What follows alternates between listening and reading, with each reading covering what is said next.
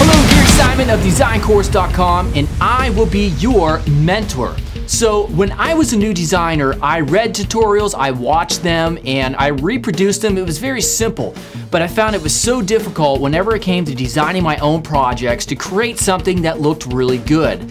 So, this is something that plagues all new designers basically because you haven't yet developed an eye for design.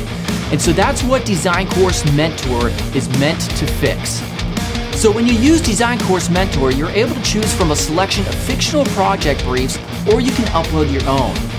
After you've submitted your design, I will personally check your design out and provide you with valuable feedback and insight into how you can improve your design. This will ultimately help you expedite the process of going from design newbie to design pro much, much faster with a mentor in your corner. So if you're ready to become a better designer today, join Design Course Premium now.